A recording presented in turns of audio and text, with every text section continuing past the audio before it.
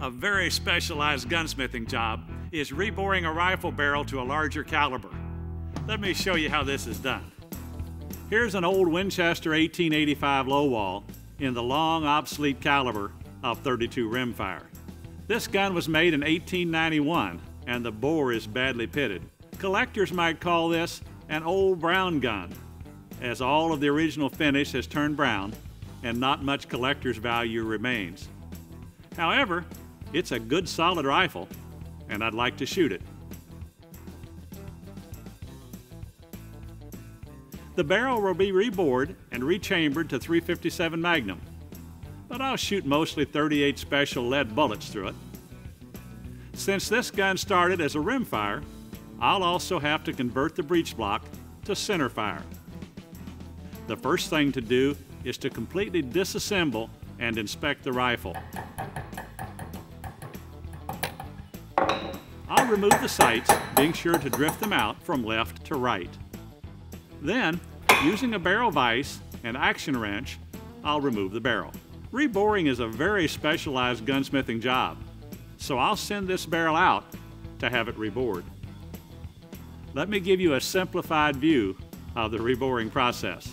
First, the bore is drilled and reamed for the larger diameter, in this case from 32 to 35 caliber after which it's hand lapped to remove all of the reamer marks. Then, new rifling grooves are cut one at a time with multiple passes to deepen each groove to a depth of about 5 thousandths. It's slow, painstaking work.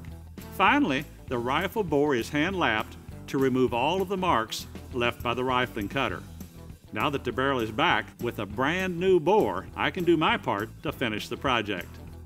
I'm chambering it in 357 Magnum using a precision reamer in the lathe. The chamber end of the barrel is centered in a four-jawed chuck using a plug gauge, with the muzzle end held in a spider. A floating reamer holder is used to keep the reamer aligned with the bore. Using plenty of oil, I'll cut the chamber about a hundred thousandths at a time backing out the reamer and clearing the chips. As I get closer, I'll check my progress with a go gauge, which should end up just flush with the back of the barrel.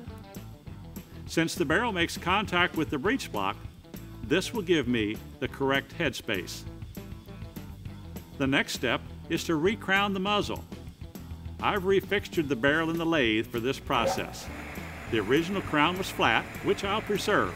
Just need to remove a few thousandths to clean up the face.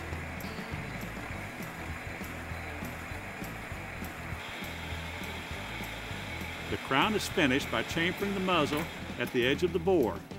I've offset the cutter at 45 degrees to make this cut.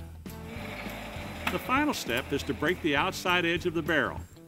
To do this, I've reversed the rotation of the lathe and place the cutter on the back side of the barrel.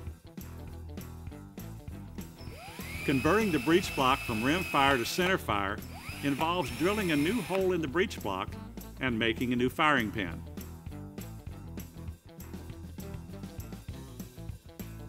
The extractor must also be modified to work with the larger 357 Magnum case. For posterity reasons, I'll mark over the original caliber and put the new caliber marking on the left barrel flat. I'll also leave a message of the work I've performed on the bottom of the barrel under the fore end. The old finish must be removed for the marking process to work.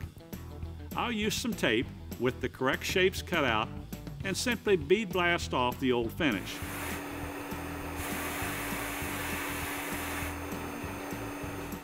The marks are made using a machine from Marking Methods. It uses a process of electrochemical etching. I've printed a stencil that just needs to be taped to the barrel. Touching the marking pad to the barrel etches the mark through the stencil.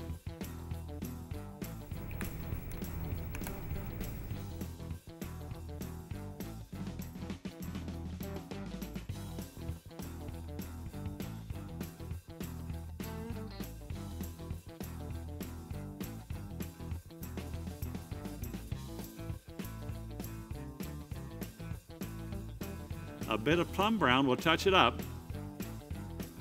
And after putting it back together, I'll head for the range.